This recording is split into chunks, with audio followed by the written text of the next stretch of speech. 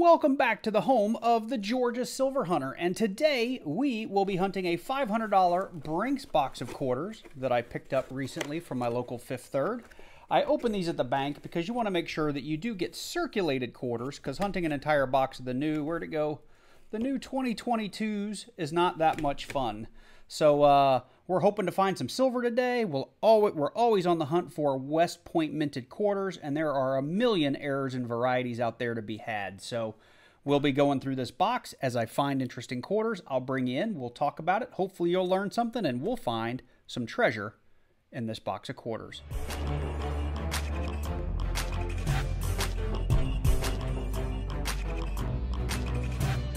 So here we go with roll number one. Uh, we did have a 2022 Sally Ride quarter. I know when it first came out, I was excited to find one of those, and I would bring it in and be like, hey guys, I'm finding the new 2022s. And now I can't stand looking at them. Uh, I did pick up a box of quarters a couple of weeks ago, and about three quarters of the box, half to three quarters of the box was loaded with those. Uh, that had a real silvery edge on it, so I was just checking. It is one of the new state quarters. Uh, but basically what we're doing today is we are going through, we are looking at the front and back of each quarter, and we are looking at dates and designs to see, like the 1983, uh, has a, hey, uh, what do they call it, the spitting eagle error. Uh, but we'll be looking at each quarter for the various markers that we're looking for to understand if they're errors or varieties or if they have special numismatic value. The, this is the uh, Tallgrass Prairie. It is a potential West Point quarter. So we always want to look at that mint mark for a W. Uh, sometimes we go through entire rolls and there's not a whole lot to look at. So there's not much to talk about on some of these. Now, the new quarters, there is this, it's called the Drooling George. There's a little die chip on the corner of the mouth. I will put that under the scope and see if we have any of those. And at some point in the video, I'm sure I'll take you under the scope and show you one. And then the crossing the Delaware, there's a huge die chip. You can see it with the naked eye. Uh, the bigger the die chip, the more it's worth. So we're hoping to find one of those today. Uh, the last couple of boxes, I have found some really good ones. So fingers crossed, we'll find some more. So lots of 2022s to look at for that die chip. Now this is the War in the Pacific Denver. Unfortunately, no W mint mark on that. The West Point minted quarters, there's about 2 million of each of them in circulation, and uh, they run anywhere from about 10 to, I was surprised last week when I found a War in the Pacific. They're going for like 45 to $60 on eBay, so really valuable quarters. Oh, and I missed these two. All right. Well, I'm going to go off camera. I'll check these guys under the scope. If I find anything interesting, I'll bring you in. So I just cracked into roll number two. Nothing of real value here, but just showing you that the U.S. Mint is uh, and Brinks they are not, uh, they do still make mistakes. So you can see right in here, I'll pick up just this little cross section. You can see I have a dime stuffed in the middle of this roll. It's a 2001. It's probably a free coin. Uh, I'll have to count these when I get done with the roll to see if I got every quarter that I should have. But sometimes, even from the, the armored car companies, you get rolls that are heavy and rolls that are light. And uh, sometimes you get stiffed, and that's just part of the game. Just looking at a couple of those shiny ones real quick. All right, back to the hunt. I wish I was kidding, but I just cracked into roll number three. And like we found a dime on the last one, looks like, get out of here paper, looks like we may have gotten stuffed with a nickel this time. And oh, by the way, last time that was a dime, that was extra. So I actually made a dime on that one. Uh, this one is a current nickel and it's all beat up, so nothing special here, but it's a nickel we'll put up here with our dime. And again, I'll count and see if I was stiffed. I have a feeling I was probably stiffed. Well, we're on roll number five and the trend is continuing. You can see I just got the paper open. So we just got the paper off of roll 10 and this is becoming a thing. Uh, let me see if I can do this one-handed here. Hopefully you guys can see the slivers in here because we have yet another nickel I could hold it right.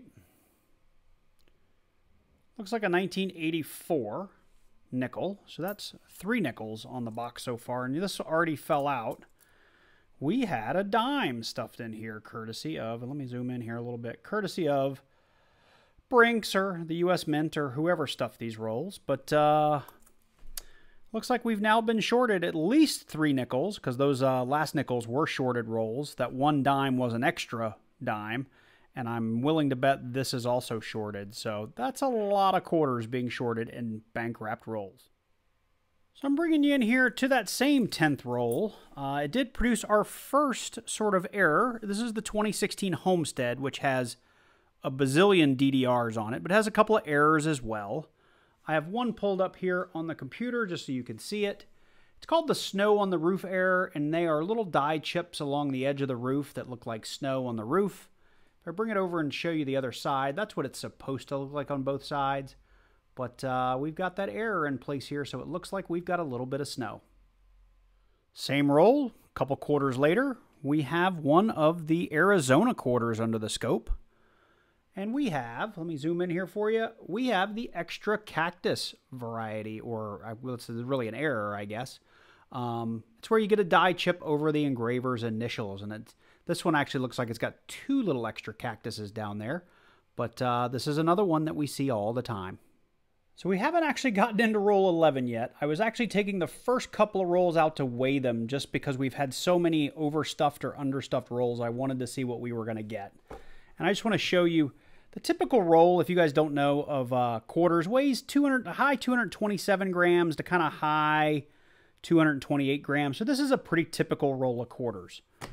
Uh, roll number 11 weighed super heavy. So this is going to probably have like an extra quarter in it maybe an extra nickel or something like that, or it's loaded with silver. Let's let's hope it's loaded with silver.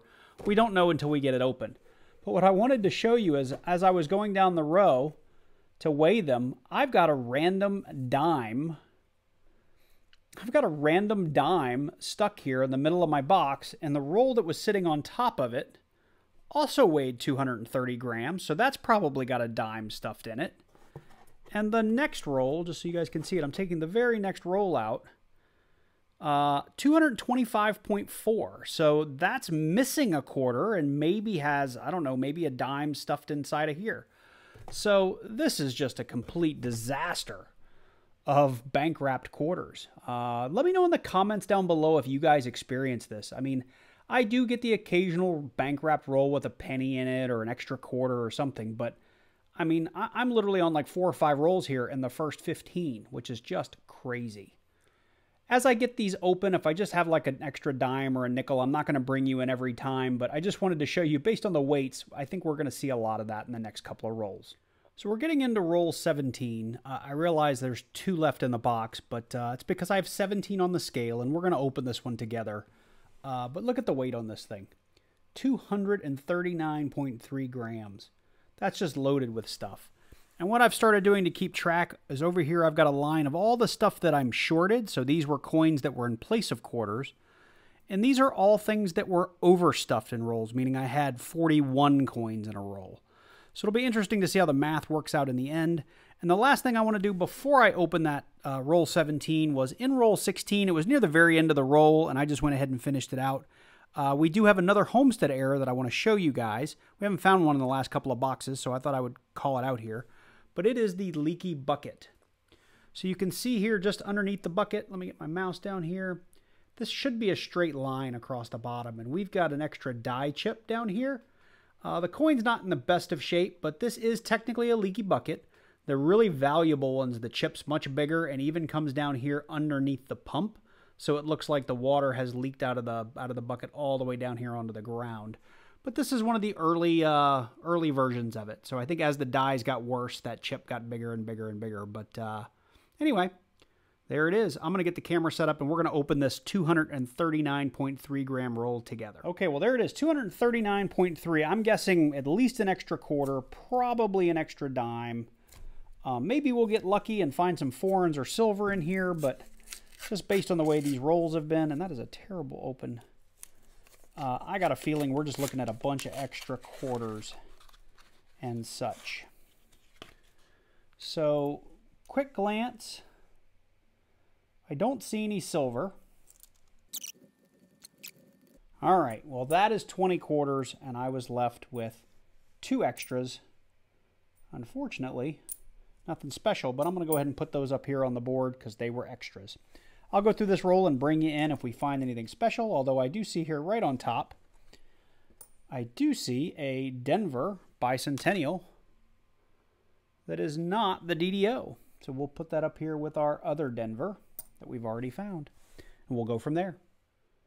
So I just got into roll 21, and it did weigh light. Um, and now I feel like I'm just complaining. Uh, I'll make short work of it. But this one, I got the paper open, and now I have three nickels. This is obscene. My bad. I just got the paper all the way off, and it was four nickels. Roll 23. I really do. I, I wish I was bringing you guys in to show you cool stuff like silver. Instead, I'm bringing you in to show you that we have a 219 gram roll of quarters from Brinks. So finally, a little bit of good news. We're in roll 36, and we have a find that is finally just not a roll that's stuffed with nickels and, and dimes. Uh, we have a San Francisco clad proof. We haven't looked at the uh, reverse yet. Let's check it out together. It's the Block Island, Rhode Island 2018. I want to say I have a bunch of these lately. This one is just making its way through Atlanta. And for a coin that I think only has like seven or 800,000 minted, I've gotten a lot of these lately. But it's a find and it's not lots of nickels and dimes. So back to the hunt. So we're on roll 38 and I finally have something that even I'm excited about and maybe a little perplexed because it's a coin that I've been looking at for a really, really long time. You can see I'm kind of three quarters of the way through the roll. And I have a coin under the scope. Uh, what I have up here is what I believe to be the 1983 P Spitting Eagle. And I don't have one of those. And if you look at this, it's not post mint damage. It does look like it's some sort of strike through or something like that. Um, I have up above on my other screen, and I'll show you in just a second. Most of the Spitting Eagles, that line actually connects with the eagle's beak. And I realize mine is a little bit further away than that. Um, but this is the closest thing I've ever found to that type of coin um, or to that description. And the detail on it's pretty good, honestly. Um, just kind of showing you around the quarter here, and I'll turn it over just to show you that it is an 83 and it is a Philly. Um, so what I have up here is the Spitting Eagle on PCGS. And if I go over the eagle's beak, you'll see that, oops, you can see it up here now. I clicked on that by accident. It's a real similar line to the one I have. However, it does appear that, you know, this one does connect with the beak. And let me get mine flipped back over here. Mine doesn't quite get there. But I'm curious, if you guys know much about this Spitting Eagle, does this qualify? Is this just a random strike through? Help me out here, coin community. What do I have here? Because this is a Spitting Eagle. I'm not sure, you know, what the value is, but it's something I've looked for for a very, very long time. I'm going to put it on the board. I'm going to hang on to it until I figure out exactly what it is. We're on roll 44, really almost all the way through it, and I've got another homestead under the scope, and uh, this one is one of the many, many DDRs that exist out there. You can see the little outline of the window here, right here, where I've, right here where I've got my mouse. I'll put a little image up on Variety Vista of which one this is, either now or in the wrap-up. But uh, this might be worth a buck or two on eBay. It's kind of a coin in bad shape. I may end up actually tossing it back, but I did want to show you that it did come out of this box. So we are all done, and this was probably one of the craziest bank wrapped quarter boxes I have ever done. I'll try not to harp on it too much, but the amount of, of uh, shortage and overage roll to roll was absolutely crazy, and I'll do a recap on that in just a second. Um, going through our finds very quickly, I do have this 1983 that I showed you guys under the scope. I really do believe it's got the right markings for being the spitting eagle, but the just the line doesn't match up with the beak. So if you guys know better than I do, please let me know in the comments down below. I'll keep this aside in case it needs to be flipped up and just store it away. Who knows, it could be nothing. We did have that one San Francisco clad uh, business strike for Block Island, and we've got a bunch of those. I did just pull one each of the uh, Drooling George of all of the new quarters, and this was actually my first. You can see just how big that die chip is here on the uh, Mankiller coin. Uh, it's a huge die chip down on the chin. Uh, it's the first one of these that I've found. But I did find one in each of the three designs. We did have two. I didn't bring you in for both of them. I really just showed you the one, but I had two of the extra cactus errors on the Arizona. I did show you guys, I believe, all three of these homestead quarters. We had one that was the DDR, or yeah, it was a DDR. We had one leaky bucket, and we had one snow on the roof. Uh, if you're new to coin roll hunting, really that sixth claw Alaska quarter, which I don't look for anymore because I've found so many, uh, and this homestead quarter are by far the easiest sort of DDRs and errors to find, probably followed by this Arizona. If you watch all my quarter hunts, you see I find these kinds of things all the time. We did end up with, I believe, seven Philly bicentennials. We had four Denver bicentennials. None of the Denvers had the DDR or DDO, but one of these days I'm going to find it. And what you see here is I've got a left and a right column. Uh, the left column is full of everything that was understuffed in a roll. So, you know, I had a nickel instead of a quarter or a dime instead of a quarter. I threw these pennies in here as placeholders. Those were rolls where there was one whole quarter missing. So the, the roll was just literally light by a whole quarter. And on the right here is I kept track of everything where there was just extra stuff in a roll, whether it be a whole quarter, a dime, so on and so forth. And uh, I went ahead and did all the math for you so you don't have to add this thing up. But we had 25 misstuffed coins, which came out to a grand total of uh, $2.15 worth of change right here. And remember, these pennies are actually quarters. Um, so I believe it was $2.15, but there were 25 coins that were understuffed, which would be $6.25, which means I was shorted $4.10 here. My overage, we had uh, 12 coins in total for a value of $100, uh, a dollar and 85 cents. And at the end of the day, I was shorted by $2.25 in bank wrapped rolls. And it, it's just crazy. You, you shouldn't, this is just the worst quality control in the entire world. I'm really, really disappointed. It makes me not even really want to look at quarter boxes for a little while. That's kind of how disgusted I am at how badly stuffed these were. If they were customer rolls, fine but bank wrapped, it's it's uncalled for. With that said, I did close out one whole quarter book. I could have closed them both out, but I accidentally threw one of the coins back because I wasn't paying attention, and I'm not going back through my discards to find it. But I have one entire book from 1999 to 2004 completed, and this was uh, I got both of these books from a coin collection that I bought, I don't know, a year or two ago, and they had already been started, and I've just kind of forgotten about them. And in the last couple of boxes, I've tried to finish them out. This one's only missing one quarter, so this one I should be able to finish out any day now. So with that said, I'm really sorry if I came across as whiny throughout this video. I know I probably did. Um, I didn't mean to, but at the end of the day, I'm just super frustrated. And if you're new to coin roll hunting, or even if you've done it for a long time, I'm sure you would be frustrated as well if you went and bought $10 worth of coins and only got $8 worth. And that's kind of what happened here. Not quite at, uh, of that percentage wise, but uh, just really disappointed. I think the finds were pretty typical. Uh, you know, being able to find a couple of DDRs, a couple of errors, you know, the drooling Georges are everywhere.